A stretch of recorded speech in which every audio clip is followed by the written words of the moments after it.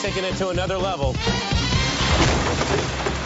This is a tough car. I'm really surprised how well it held up. I mean, we were beating and beating and beating on this thing, making very little damage.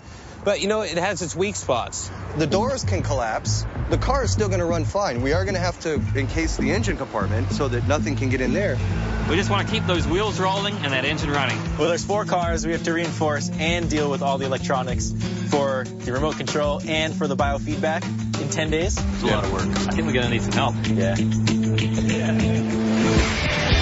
Coming up, stripping the junkyard cars proves to be one dirty job. It smells like vomit and gasoline in here. Oh. Perhaps a little too dirty for Dr. Mike. One of the most disgusting things I've ever done.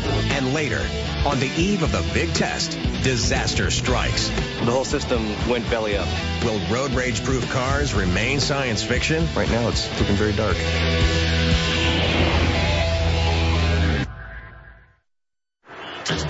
Road rage is a serious problem. Each year, over 12,000 people nationwide are involved in road rage related accidents.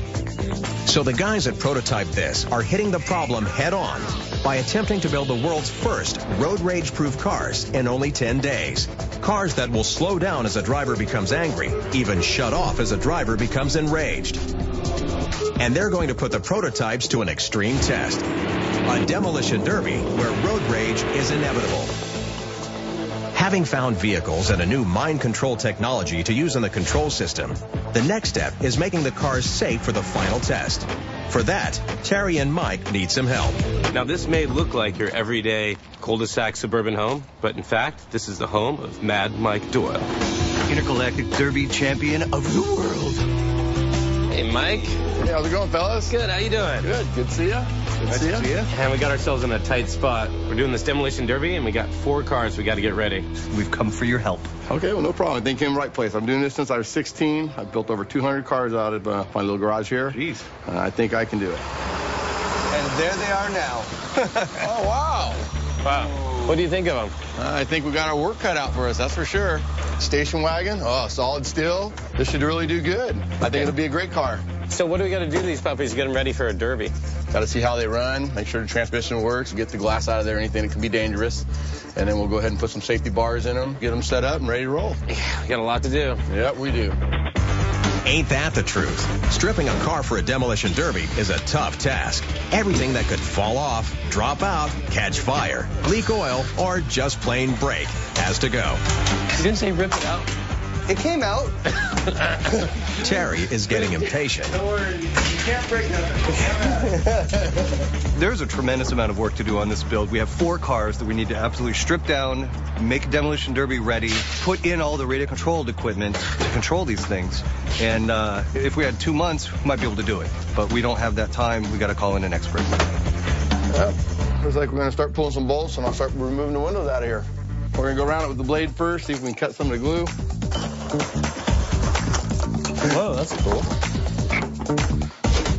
Nice. That is so cool.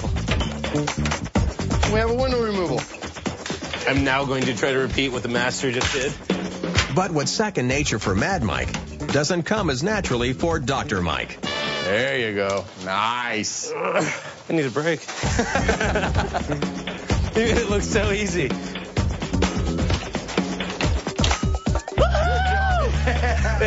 Look easy. Piece of cake. Oh.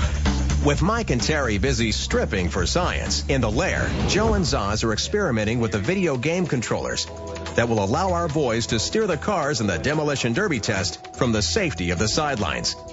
What we first need to do is control the car using a steering wheel, and this is a steering wheel and pedals from a video game controller. This system that we're working on is going to control a real full-size car, just like the one you drive. But we need to work towards that. We need to do some tests, and uh, just for, for safety and simplicity, we're going to be testing on this little radio-controlled car here. I think it's ready for a test drive. I'm going to put it on the track. It's safety first as Joe dons his helmet. Can you see it? Barely. I can definitely control it. and easily navigates the small test track. Excellent. I just want to smash into things. So far, so good. Joe and Zoz's electronics are able to control a toy car. So, in theory, using the same video game controllers to remotely steer full-size cars should be a Sunday drive. Meanwhile, back at Mad Mike's, Terry and Mike are digging deep. This is like an archaeology project. You get to kind of get a feeling for who owned this car before we got to it. It's it's kind of gross actually. It's like it's like the, the kid down the street that has a really nasty room that you never want to go into. This is pretty much it. It's disgusting. Yeah, it's it's it's really just oh This was a family car. oh there's a smell. I know. Oh. Oh! I want rubber gloves. That's like really bad mold, soda pop, food, water, foot. Was Mike really like hurling? Really? It's like mold and stuff, and you're inhaling it. That's up there with one of the most disgusting things I've ever done. Oh. Things we do to cure road rage. Coming up, biofeedback testing gets under Mike's skin. And later, the big day arrives and everything goes wrong. Got nothing. All right. Will our prototypes pass the test?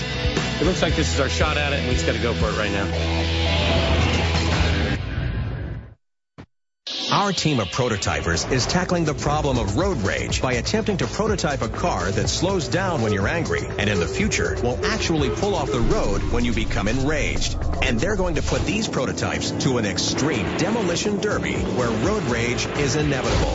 Having already found and stripped the vehicles for the experiment, and with a track booked for the final test in one short week, the cars return to the warehouse. Smells like vomit and gasoline in here. And the guys waste no time marking their